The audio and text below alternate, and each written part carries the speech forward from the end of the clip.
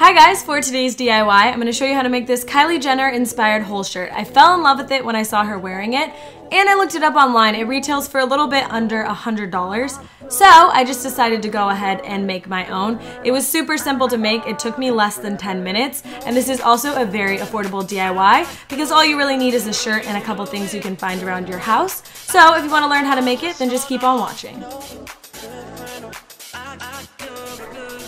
You're going to need a piece of cardboard to protect your work surface. A plain shirt, mine is from Forever 21, an X-Acto knife, or a small pair of scissors, it's up to you. Now let's get started.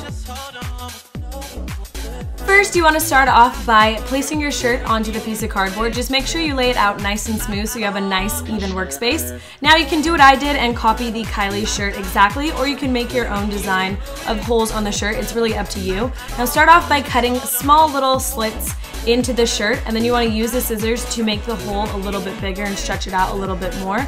Keep in mind the holes will get bigger over time so you don't want to make them too big because then they will be too stretched out and maybe even rip. So you just want to repeat the same process, making nice little slit cuts into the shirt and then sticking the scissors in to kind of stretch it out a little bit. Go ahead and repeat that same process until you're all done adding as many holes to the shirt as you want. And then all you have to do from there is lastly, you want to go ahead and stretch out the shirt and this is just going to make all of the holes just a little bit more noticeable. And once you're done with that, you are all done with your shirt. I hope you guys enjoyed this DIY. If you did, make sure to give it a thumbs up so I know to do more DIYs like this.